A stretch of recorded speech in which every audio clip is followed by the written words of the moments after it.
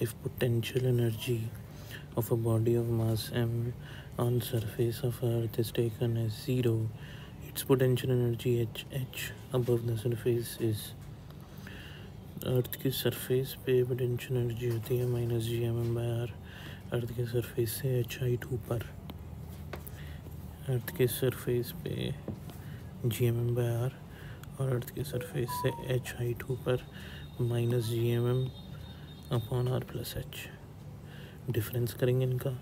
U H minus U S ये रहा U H minus minus plus हो जाएगा। U S G M M M common one by R minus one by R plus H solve करेंगे LCM लेके तो हमारे पास आएगा U H minus U S S G M M H by R upon R plus H तो जो difference रहेगा energy का हाइट हाइट पे और सरफेस पे वो हमेशा यही रहने वाला है। डिफरेंस हमेशा यही रहेगा। क्वेश्चन बोल रहा है, अगर सरफेस पे एनर्जी ज़ीरो हो जाए तो एच पे कितनी होगी? तो अगर सरफेस पे ज़ीरो हो जाए तो यहाँ पे ज़ीरो डालो। तो एच पे आ जाएगी।